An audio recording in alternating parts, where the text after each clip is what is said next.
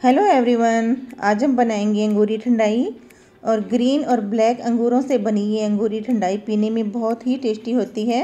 अगर आप लोग इसे गर्मी के मौसम में बनाकर पियोगे तो ना ही तो आप लोगों को ये थकान होने देगी और आप लोगों को काफ़ी एनर्जी भी देगी। तो मैं आप लोगों को रेकमेंड करूँगी कि आप लोग एक बार इसे ट्राई ज़रूर करें। आई होप आप लोगों को ये बहुत ज़्यादा पसंद आएगी। तो चलिए फ्रेंड्स जल्दी से इसे बनाना शुरू करते हैं। अंगूरी ठंडाई के लिए सबसे पहले चाहिए ग्रीन और ब्लैक अंगूर। हमें इनका जूस निकाल लेना है। अब ली है मैंने एक कुंडी। तो मैं इसे ट्रेडिशनल तरीके से बना रही हूँ। कुंडी में मैं डालूँगी भीगे हुए बादाम। इन बादाम को हमें क्रश कर लेना है।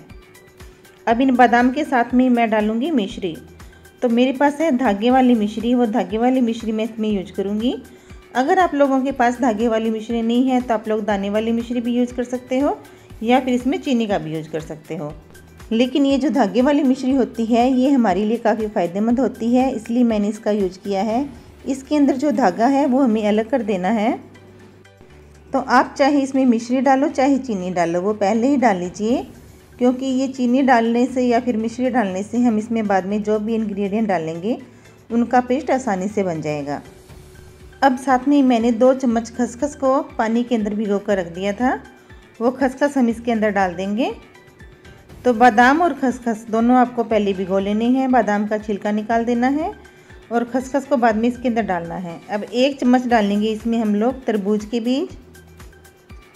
और उसके बाद में मैंने कुछ इलायची के दाने निकाल लिए हैं, वो इसके अंदर डाल देंगे। और सात से आठ डाल लेंगे इसमें काली मिर्च। तो अब हमें इनका फाइन पेस्ट बना लेना है। आप लोगों के पास अगर कुंडी नहीं है तो आप लोग इन सबको मिक्सी में डाल करके फिर इन सब का पेस्ट बना सकते हो। लेकिन ये जो ट्रेडिशनल तरीका मैंने अपनाया है, इससे इसका टेस्ट काफ़ी अच्छा आता है। अब इसमें डालेंगे थोड़े से पिस्ता और साथ में डाल देंगे थोड़ी सी गुलाब की पत्तियाँ। और ये सब डालने के बाद में भी हमें इनका बारीक पेस्ट बना लेना है।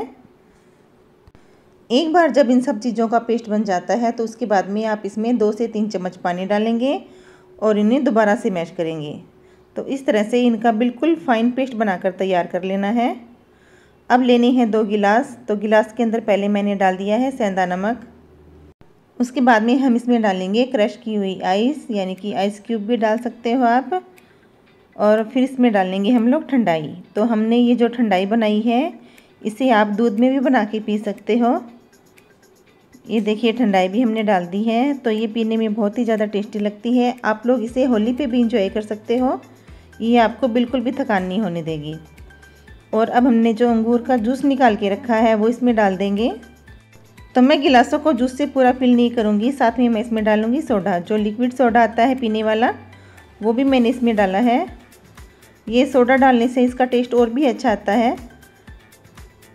तो अब हमें इन सबको अच्छे से मिला देना है और ये हमारी ठंडाई बनकर तैयार है।